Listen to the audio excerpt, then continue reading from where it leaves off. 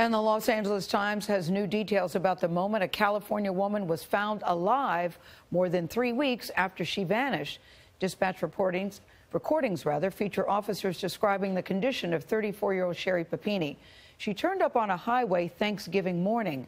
Papini has now been reunited with her family. She has told investigators her alleged captors let her go.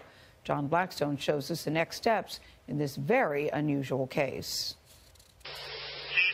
CHP on scene and advised she has changed to something. Investigators say Sherri Papini was in rough shape when she flagged down a passing driver along this highway about 150 miles from home. Uh, CHP is advising she is uh, heavily battered. Papini was treated and released from the hospital the same day and reunited with her husband.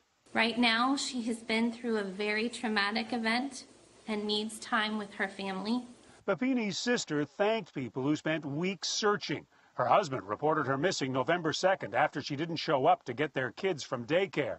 Papini has not spoken publicly, but described her alleged captors to police. We are looking for a dark colored SUV with two Hispanic females. They'll be looking for uh, physical evidence that she may have picked up if she had contact with her captors and there may be DNA involved.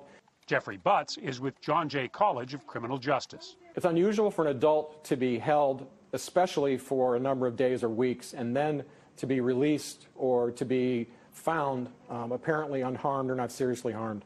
Perhaps even more unusual, a six figure reward offered by an anonymous donor using a negotiator. I was retained for one purpose and one purpose only, and that was to find a way for Sherri to come home. But investigators say the offer does not appear to be linked to her release.